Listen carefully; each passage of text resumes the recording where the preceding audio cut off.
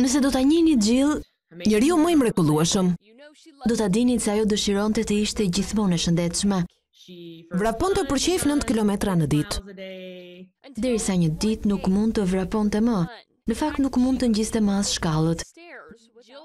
Jill Holker dhe Holly Pike kanë punuar në terapinë intensive të Qendrës Mjekësore Intermountain në Utah për pesë vjet. Që prej marsit të vitit dy mijë e njëzet dy infermieret janë kujdesur për pacientë të Covid nëntëmbëdhjetës. Ato nuk prisnin që Jill të bëhej një prej tyre. Ne të gjitha infermieret e reanimacionit kemi parë shumë gjëra të këqija të ndodhin. Por pastaj, kur i ndodh një të afërmit tënd është shumë vështirë për t'u përballuar.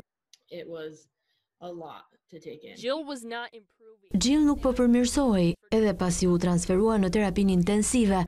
Mjekët vendosën se do t'i duhej një transplant i dyfishtë në mushkëri dhe vendi më i mirë për ta bërë ishte Florida. Gruaja priti gati një muaj para se dhuruesi perfekt t'i jepte Jillit një jetë të re. Javën e kaluar infermierja doli nga spitali për herë të parë që prej muajit nëntor, ndërsa merrte frymë me mushkëritë e reja. Rruga drejt rimëkëmbjes do të vazhdojë, por për nënën e tre fëmijëve, drita në fund të tunelit është shfaqur tashmë.